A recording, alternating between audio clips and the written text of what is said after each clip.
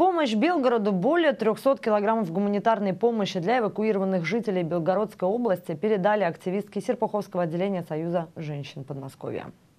Несколько коробок с тушенкой, растительным маслом, рисом и гречкой. Все это серпуховички привезли в общественную приемную местного отделения партии «Единая Россия», где размещается один из пунктов сбора гуманитарной помощи жителям Белгорода. Как принято у нас на Руси, оказать помощь тем, кто попал в беду, святое дело.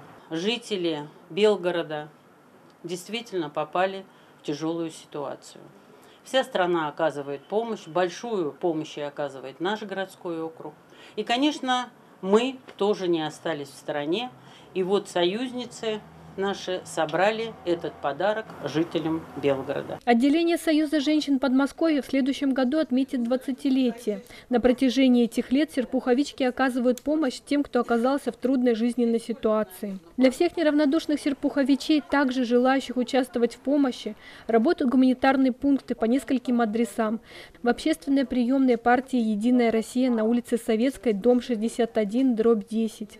В Серпуховском информационном агентстве на улице Джона Рида, дом 5, во Дворце культуры «Россия».